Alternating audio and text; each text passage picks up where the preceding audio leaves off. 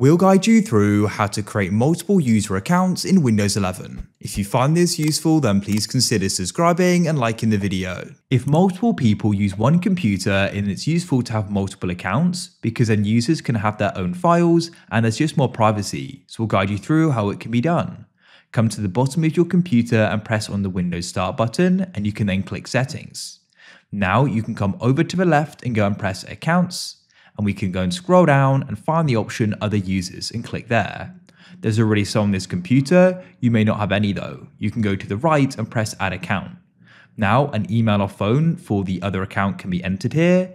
If you don't have the sign in information, you can press that button. An account can then go and be created, or you can add it without on Microsoft account, which is I want to do, which is essentially a local account. So you can then go and enter in a name, and now we can go and enter in a password for them.